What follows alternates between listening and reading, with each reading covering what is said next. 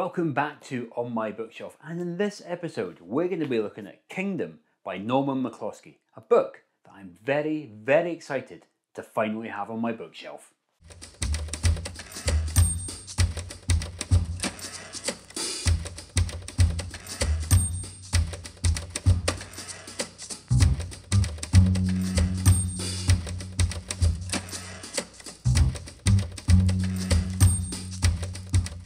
So this is Kingdom by Norman McCloskey, and the reason I'm so happy to finally have this book is because of this book, Beara, also by Norman McCloskey. Beara has a special place on my bookshelf. It's a book I reached for in the title sequence for On My Bookshelf, and it's probably my favourite landscape photography book I have. I even bought it as a gift for a friend who's also a photographer. But if you'd like to know more on why I like it so much, I'll include a link to the episode of On My Bookshelf that features Beara at the end of this video and in the video description below. Anyway, the point is that I had high expectations for Kingdom, but have I overhyped it in my mind, or is it a worthy addition to my bookshelf? Let's find out. First, let's start with the physical characteristics of the book. It's a hardcover book with a gold foil cover. It measures 295mm by 255mm, has 128 pages with 101 colour images, all printed on 170 GSM paper. It's a lovely book to hold and look at. The book opens with a beautifully drawn map of Kerry, and then on the opposite page you'll find a foreword by renowned photographer Paul Wakefield. The book then follows with an introduction by Norman himself. To be more accurate, it's a two-page essay in which Norman gives a wonderful insight into his 30-year relationship with Kerry. The text helps give his photographs context and meaning. The remaining 100 pages or so are then given over to the photographs of Kerry that Norman has captured. If, like me, you're unfamiliar with the landscape of Kerry, you're going to be pleasantly surprised by the rich variety in subject matter. There's everything from mountains, woodlands, coasts and lakes, and even buildings. I think most landscape photographers dream of going to far-flung exotic places, and I'm no different, but this book just shows what you can find on your own doorstep. But it's not just the variety of photographs, but the way Norman has masterfully used his skills as a photographer to capture images that give an insight into what it must be like to wander about that landscape. Let's look at his use of light, for example. It's been used to carefully add depth, contrast, drama, or even to highlight a particular part of an image. There are also some great examples of when Norman has used layers in the landscape to great effect, such as in this series of photographs.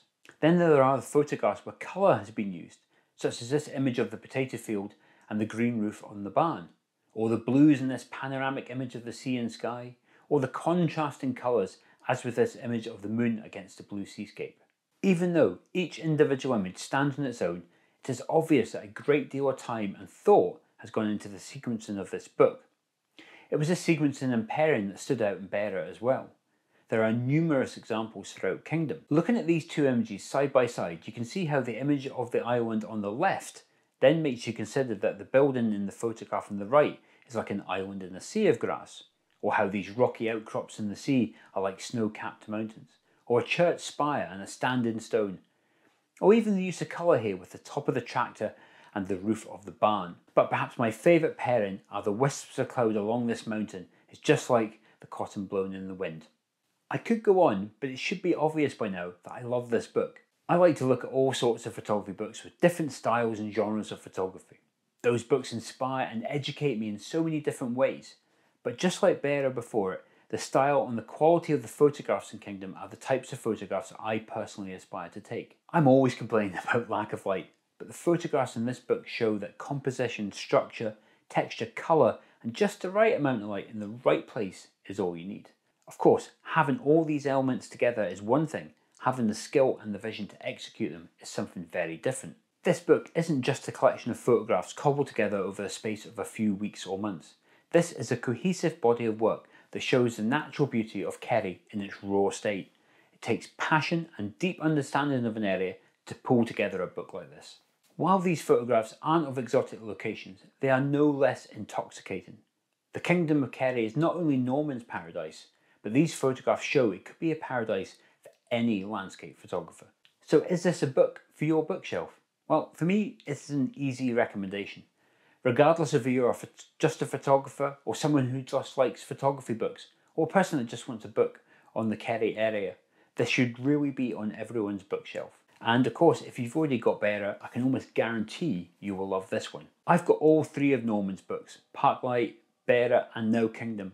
And while I won't pick a favourite, I think I will be updating this show's title sequence because the book I'll be reaching for when I need some inspiration will be Kingdom. Now, if you want to get a copy of Kingdom, you can do so directly from Norman's website. The link is in the video description below. And of course, if you're quick, there might still be some limited edition copies left.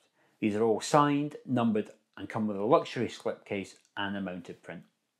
I hope you have enjoyed this episode of On My Bookshelf.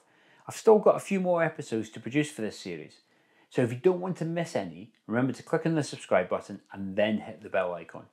But if you can't wait until the next episode, then I'm popping up the On My Bookshelf playlist in the corner of the screen. With over 35 episodes, there's sure to be a book there to inspire your photography. But until the next episode, thanks again for watching and see you then.